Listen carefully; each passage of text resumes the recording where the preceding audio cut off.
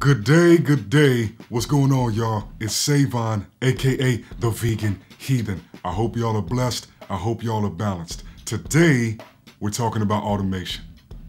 Now, what is automation, right? Well, according to iZotope, the company behind the famed mastering suite Ozone, automation is having your DAW automatically make certain changes for you over time right? Whether that be a change to a fader, a knob, or a switch, or any number of things, and we'll discuss that a little bit later. But effectively, another way that I would like to convey it is that automation is what allows you to truly have your cake and eat it too right? It allows you to make fewer compromises in your mix, production, and arrangement process.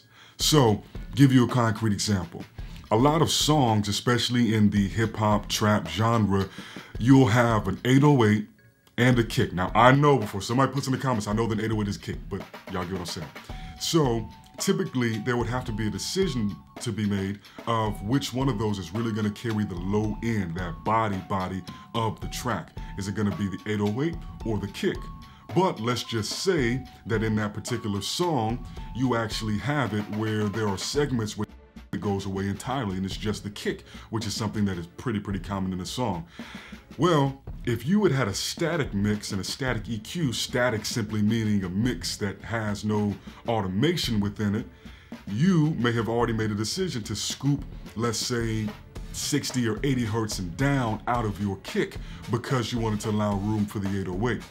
But when you get to that segment of the song where it's just the kick, you could use all of that low end if you felt like it, but not if you had a static mix and you already took it out. So in automation, you can have an EQ automatically open back up that low end to allow that extra information to shine through, and then you could automatically have it scoop back out during the, let's say, verses where you have the 808 and the kick back together once more.